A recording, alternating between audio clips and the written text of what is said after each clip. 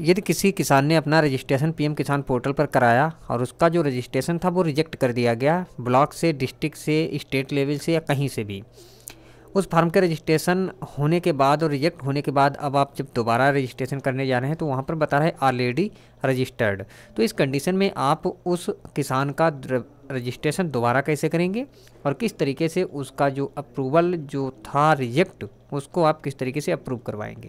ये कंप्लीट जानकारी आज के इस वीडियो में आपको मिलेगी तो चलिए वीडियो की शुरुआत करते हैं। इसके लिए आप ब्राउज़र ओपन करेंगे और लिखेंगे एक्स लिंक पीएम किसान और पहली वेबसाइट आएगी डिजिटल सेवा कनेक्ट, जो लिखा हुआ है, इस पर आप क्लिक कर देंगे।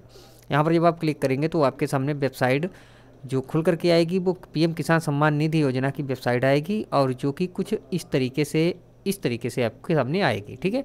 इसमें आप सबसे लास्ट में देखेंगे सी एच सी लॉगिन जो लिखा है, यहाँ पर क्लिक करके आप सी सी में सी सी के थ्रू लॉगिन हो जाएँगे। उसके बाद यहाँ पर आप देखेंगे लिखा है एडिट फार्मर डिटेल यहाँ पर आपको नया रजिस्ट्रेशन अब नहीं करना है, बल्कि आपको एडिट करना है, ओके? एडिट फार्मर डिटेल पे क्लिक करेंगे, उसके बाद नीचे आधार नंबर डालेंगे और ध्यान रहे कि बायोमेट्रिक डिवाइस आपकी कनेक्ट होनी चाहिए आपके सिस्टम के साथ में। आधार नंबर आपने डाल दिया, नीचे कैप्चा आप डालेंगे और कैप्चा डालने के बाद आप सर्च पे क्लिक करेंगे। दो बातों का यहाँ पर आपको ध्यान रखना है कि बायोमेट्रिक डिवाइस आप यहाँ पर आरडी सर्विस अपडेट करके रखें, ये ज़रूर ध्यान रखें, क्योंकि फिंगर ज़रूर ही लगेगा।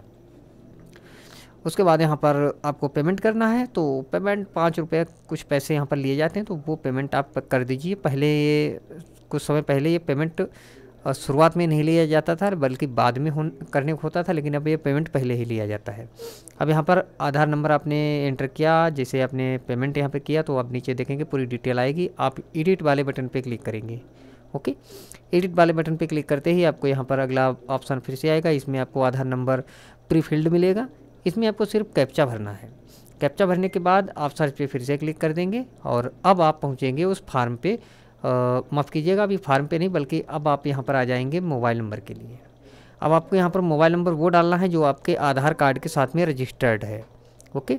रजिस्टर्ड मोबाइल नंबर डालेंगे और उस पर एक ओटीपी जाएगा। वो ओटीपी आप वेरीफाई करेंगे, लेकिन उससे पहले जैसे कि मैंने आपको बताया कि बायोमेट्रिक डिवाइस का आर सर्विस आपका अपडेट होना चाहिए। ये ध्यान रखना है आपको। अगर बायोमेट्रिक डिवाइस काम ना करे तो इसके लिए हमारे और भी वीडियोज़ हैं, जो कि इसी चैनल पर आपको मिल जाएँगे, वो देख लीजिएगा। आप ओ टी वेरीफाई करेंगे, उसके बाद यहाँ पर आपको बायोमेट्रिक दिखाई जाएँगी जो डिवाइस के नाम, जो डिवाइस आपकी हो, उसे आप सेलेक्ट करें। अगर कोई, इनमें से कोई डिवाइस आपकी नहीं है तो पहले वाले ऑप्शन को आप सेलेक्ट कर लेंगे। कैप्चर फॉर बायोमेट्रिक यहाँ पर मंत्रा मेरे पास है तो मंत्रा को मैंने क्लिक किया और यहाँ पर हम कस्टमर का फिंगर लगवाएँगे, जो किसान है। किसान जैसे ही फिंगर लगाएगा फिंगर लगाने के बाद इस तरीके से सक्सेस होगा। ओके करेंगे और सबमिट पे क्लिक करेंगे। सबमिट पे क्लिक करते ही जो रजिस्ट्रेशन शुरुआत में पहली बार किया गया था, वही फार्म फिर से यहाँ पर खुल करके आ जाएगा। अब आपको देखना ये है कि रिमार्क में क्या लिखा था, क्या प्रॉब्लम थी इस फार्म में।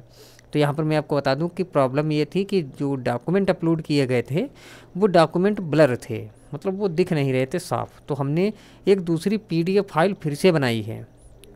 ओके? मैंने एक पीडीएफ फ़ाइल फिर से बनाई है जो कि 200 के से कम है और उस पीडीएफ को हम यहाँ पर फिर से अपलोड करेंगे। तो चूज़ फ़ाइल पे क्लिक करेंगे और पीडीएफ को चलिए मैं आपको एक बार यहाँ पर शो करता हूँ। इसे हम पीडीएफ को ओपन पे क्लिक करते हैं। इस तरह से और ये पीडीएफ खुल जाएगी यहाँ पर ठीक है? इस पीडीएफ को अगर आप देखना चाहें तो इस तरीके से आधार कार्ड, पति पत्नी दोनों के और साथ में मैंने खतौनी और पासबुक के सभी डॉक्यूमेंट लगा करके सेलेक्ट कर लिया। अब हमें कुछ नहीं करना है, डायरेक्ट हम सेव पर यहाँ क्लिक कर देंगे और आपको ध्यान रखना है, थोड़ा सा यहाँ पर वेट करना होगा। अगर कोई इरर आता है तो आप जो लैंड वाला कॉलम है उसे आप एडिट कर लीजिएगा, ओके? अगर कोई प्रॉब्लम आए तो उसे आप एडिट कर लीजिए और ये सक्सेसफुली आपका हो जाएगा। तो बस यही एक तरीका है, आपके रिजेक्ट किए गए फार्म को दोबारा से आगे बढ़ाने का। उम्मीद है कि आप लोगों को वीडियो और जानकारी पसंद आई होगी। वीडियो अच्छा लगा वीडियो को लाइक और हमारे इस यूट्यूब चैनल को सब्सक्राइब आप ज़रूर करिएगा। इस तरीके के वीडियोज़ आगे भी देखने के लिए। Thank you so much.